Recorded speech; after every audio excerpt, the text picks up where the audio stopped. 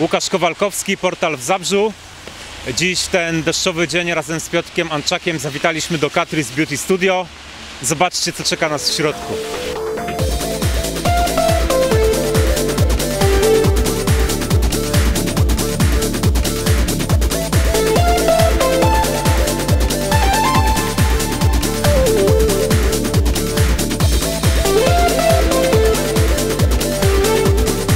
Jest z nami pani Katarzyna Czarnecka z Catrice Studio Beauty, która wygrała nasz plebiscyt z cyklu Wspieramy lokalny biznes. Pani Kasiu, dlaczego Catrice?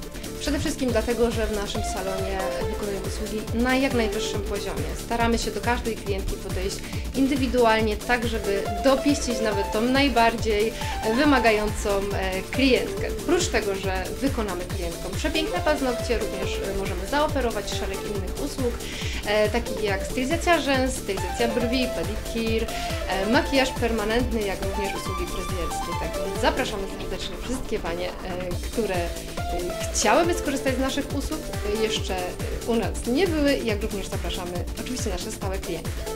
Co z panami? Również Panów zapraszamy. Należą do mniejszości, ale może się odważą, tak więc zapraszamy.